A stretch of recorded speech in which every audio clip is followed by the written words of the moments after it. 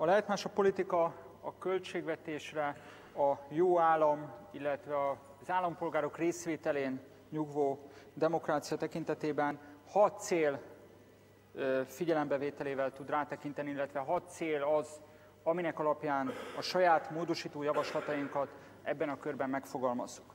Először is mennyire szolgálja ez a költségvetés az állam működése szempontjából a kiszámíthatóságot, másodjára az átlátható, hatékony államot, a decentralizációt, a politika megszabadítását az oligarchák uralmától, harmadrészt a helyreállító igazságszolgáltatást, negyedrészt a társadalmi részvételt, illetve az aktív állampolgárságot, ötödrészt mennyire szolgálja ez a költségvetés a helyi közösségek önrendelkezési szabadságát, végezetül mennyire szolgálja ez a költségvetés, mennyire szolgálná egy költségvetés a közszolgáltatásokhoz való egyenlő hozzáférést lakóhelytől függetlenül és település típustól függetlenül ebben az országban.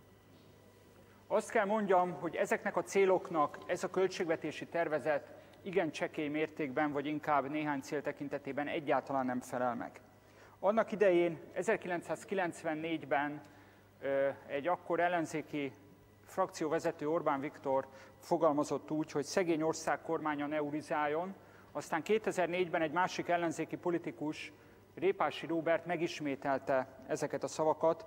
Úgy tűnik, önök tíz évente ráébrednek ennek a mondásnak az igazságára, valószínűleg így fognak tenni majd 2014-ben is, csak lehet, hogy akkor már késő lesz. Nézzük meg, hogy hogyan urizál egy szegény országnak a kormánya, hogyan urizál egy olyan kormány, amelyik minden időknek az egyik legnagyobb, hanem a legnagyobb megszorító csomagját zudítja erre az országra. Hogyan urizál egy olyan kormány, amelyik közben brutális forráskivonást hajt végre a jóléti rendszerből, gyakorlatilag halára ítél kulturális intézményeket, iskolákat, egészségügyi intézményeket. Ez a kormány létrehozta a terrorelhárítási központot, holott a mindennapi közbiztonság helyreállítása érdekében erre semmi szükség nem volt. Ez egy 13,5 milliárdos összeg a jelenlegi költségvetési tervezetben. Ez a kormány, ennek a kormánynak a miniszterelnöksége költ 700 millió forintot nemzeti kommunikációra, úgy, hogy összkormányzati kommunikációra be van táblázva 900, 900 millió forint, csak a konzultációk című propaganda hadjáratra 1 milliárd 600 millió forintot költ el, miközben még ifjúsági rendezvényeket is támogat Orbán Viktor miniszterelnök. 3 milliárd forint legalább az az összeg, ami csak a miniszterelnökség részéről urizálásra, az emberek megvezetésére szolgál.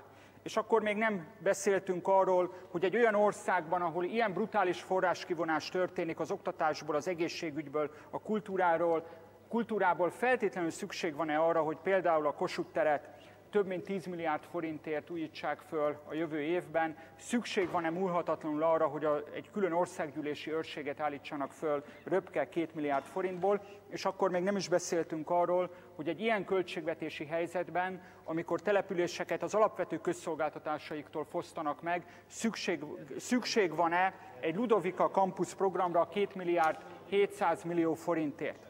Továbbra is csak azt tudom ismételni, amit Orbán Viktor elmondott az első kormányzati ciklus idején, szegény ország kormánya ne urizáljon, és még nem szóltunk arról, hogy a kormányzati ellenőrzési hivatal dologi kiadásai során, vagy az egyébként rész, funkcióitól részben megfosztott közigazgatási és igazságügyi tárca központi kiadásainál, a kímő vagyonkezelésénél milyen plusz túltervezett kiadási sorok vannak.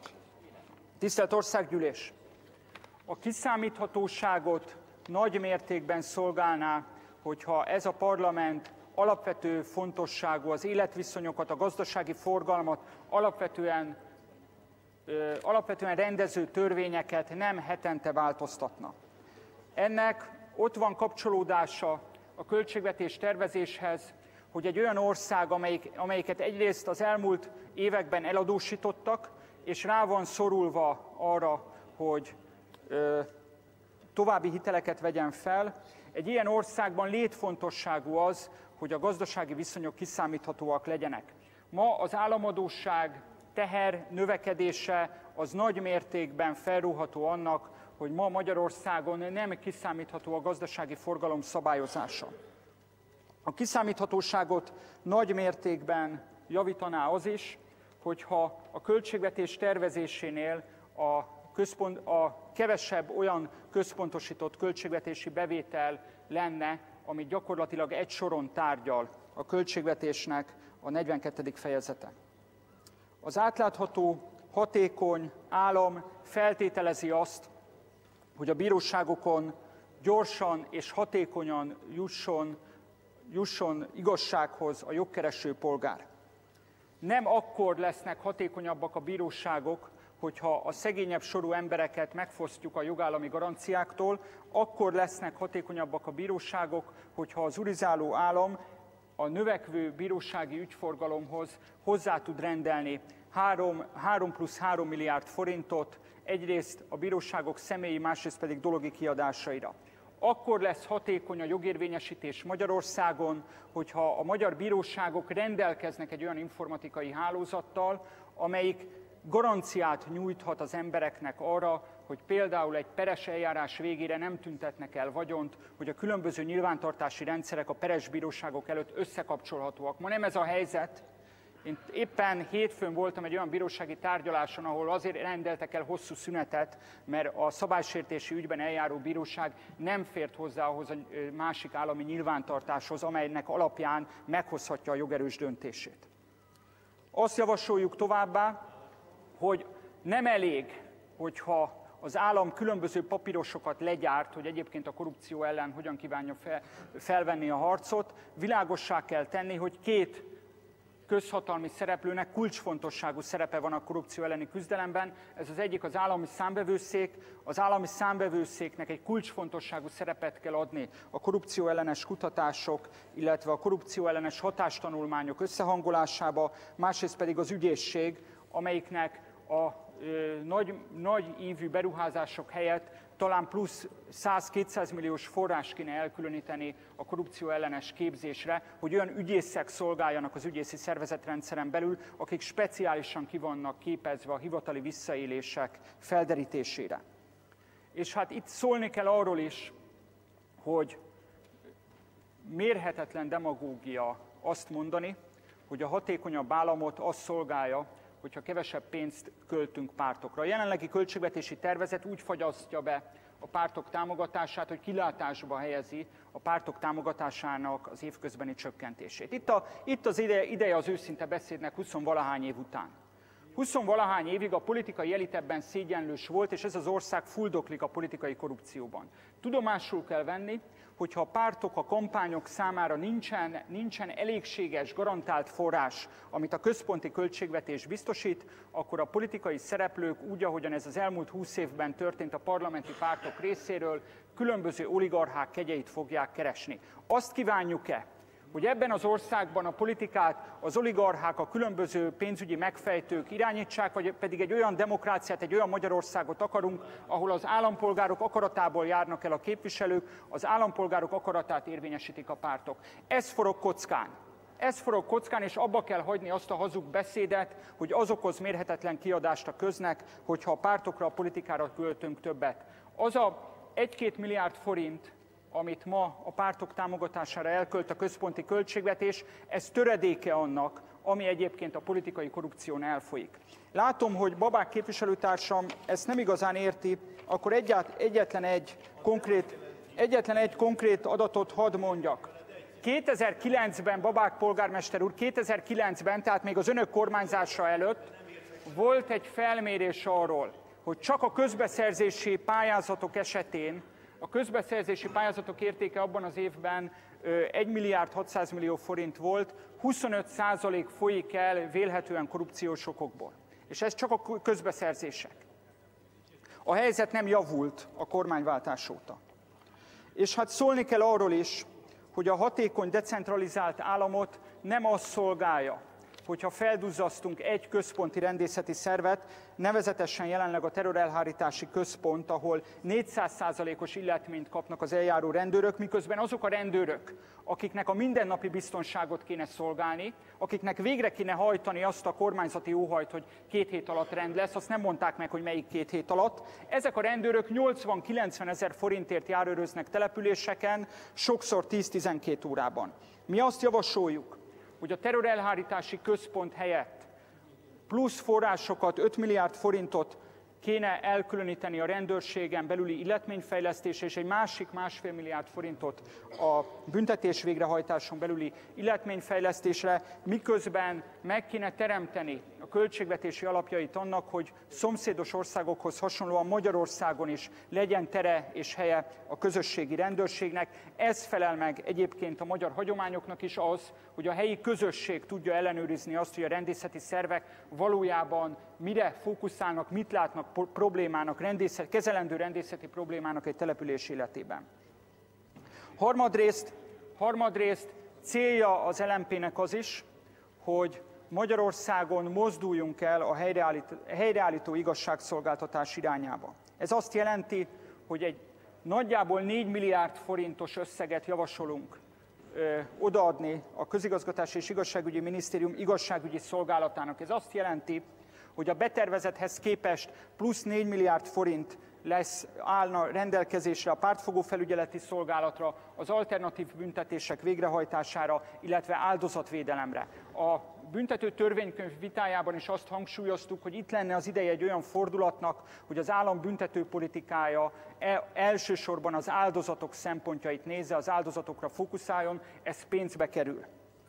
És természetesen indokolt az, hogy szintén az igazságügyi tárca fejezetében a jogi segítségnyújtásra fordítható összegeket, ami szintén a szegényebb sorban lévő emberek egyenlő igazságszolgáltatáshoz való egyenlő hozzáférését szolgálja, illetve a büntetőjárási kártalanítások összegét, gondoljunk csak 2006 őszére, legalább megduplázzuk. Negyedrészt kiemelt költségvetési cél és kiemelt közpolitikai cél az LMP számára a társadalmi részvétel, az aktív állampolgárság erősítése. Nézzük csak a számokat. 2009-ben 7,7 milliárd forint állt rendelkezésre az akkori Nemzeti Civil Alap program részére, tehát a különböző társadalmi önszerveződések támogatására. Ez az összeg tavaly lecsökkent kevesebb, mint a felére a 2009-es számnak, 3,3 milliárd az idei évre. Ehhez képest ez a költségvetési törvénytervezet az úgynevezett Nemzeti Együttműködési Alapra csak 3 milliárd forintot költene. Ehhez képest a miniszterelnök nemzeti konzultációra 1 milliárd 600 millió forintot szeretne elkölteni. Mi azt javasoljuk, hogy ne, ne bolondítsa a kormány az embereket mindenféle levelekkel és nemzeti konzultáció címre elkeresztelt fideszes propagandahadjáratra, ezt az 1 milliárd 600 millió forintot oda kell adni a civil szervezetek támogatására, felcímkézve olyan programokra, amelyek az állampolgárok részvételre képesítését szolgálják azt szolgálják, hogy az állampolgárok ne elfogyasztói és elszenvedői legyenek a mindenkori kormány propaganda hadjáratainak, hanem képesek legyenek közérdekű információkhoz jutni, képesek legyenek megalapozottan részt venni a helyi, illetve országos közfontosságú folyamatokba. És egyébként is azt gondoljuk, hogy a miniszterelnökség kommunikációjára szánt pénzeknek egy jelentős része akkor van jó helyen, hogyha a társadalmi önszerveződésekre, az aktív állampolgárságra költjük ezeket el.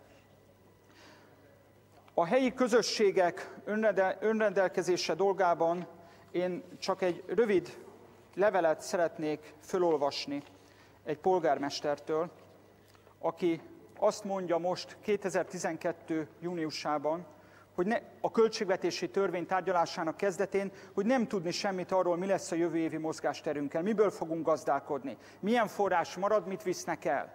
Azt mondja ez a Nyilván Babák képviselő úr tudja, de van olyan kis települési polgármester, aki nem tudja. Azt mondja, emellett nekünk van általános iskolánk, még mindig senki nem mondta el nekünk, hogy mit fizet az állam, és mit fog fizetni az önkormányzat. Megtarthatjuk a sulinkat, vagy felülről döntik el, hogy megmarad-e.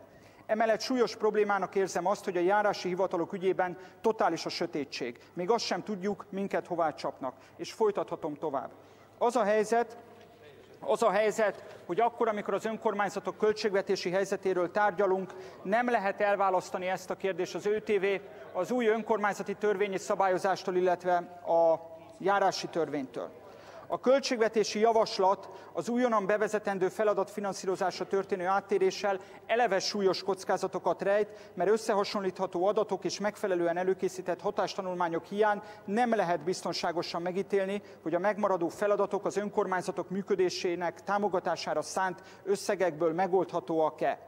Súlyos bizonytalanságot jelent a nem megfelelően kidolgozott szabályozás, így a járások kialakítása körüli bizonytalanság, hogy nem lehet tudni, hogy pontosan milyen feladatok kerülnek a járási kormányhivatalokhoz, nem lehet tudni, hogy az állam által ellátott feladatokhoz biztosított önkormányzati ingatlanok kapcsán az állam fizete bármilyen hozzájárulást az önkormányzatoknak. Az a helyzet, az a helyzet, hogy önök egy olyan politikát támogattak az elmúlt hónapokban, amelyik ellehetetleníti a kistelepüléseket, tömeges iskolabezárásokat készít elő. Az a helyzet, hogy miközben önök az ellenzéki évek alatt nagyon helyesen kiálltak a kistelepülési kisiskolák mellett, kiálltak a vidék megmaradása ellen, most egy olyan költségvetés és egy olyan szabályozást támogatnak, amelyik folytatja az előző kormányok faluromboló politikáját a járási törvény, az önkormányzati törvény, az új önkormányzati törvény és ez a költségvetés azt készíti elő, hogy számtalan kistelepülésen, számtalan kistelepülésen az utolsó álláshelyek fognak megszűnni, mert hogy a polgármesteri hivatalokat is érinteni fogja az álláshelyek megszüntetése. Az a helyzet, az a helyzet, hogy ez a politika súlyosan veszélyezteti a közszolgáltatásokhoz való egyenlő hozzáférés jogát. Önök miközben iskola bezárások ellen tüntettek 2006-ban, 2007-ben, most iskola bezárások, tömeges iskola bezárások fenyegetnek, legfeljebb megcsinálják azt a trükköt, hogy egyes iskolákat átadnak az egyházaknak, és majd az egyházak lesznek kénytelenek bezárni azokat. Önök nagyon helyesen tiltakoztak, sőt, megkockáztatom, együtt tiltakoztunk 2006-2007-ben a vasúti szányvonalak bezárása ellen, most nem következik be más, mint a vasúti szányvonalak tömeges bezárása. Ez a helyzet, önök megtévesztették a falusi embereket, önök folytatják az előző kormányok önök folytatják az előző kormányok faluromboló politikáját, miközben, miközben, miközben egy olyan államot építenek ki, amiben centralizált demokrácia, centralizált, centralizált demokrácia épül ki, önöknek nem érdekük az aktív állampolgárság, önöknek az az érdekük, hogy a magyar, állampolgárok zokszó nélkül fogyasszák el az önök propaganda kiadványait.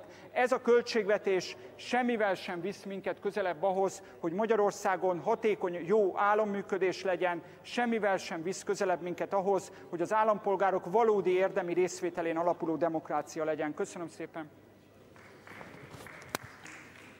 Tisztelt Országgyűlés! Felszólalással következik kettő perces időkeretben Babák Mihály képviselő úr, Fidesz.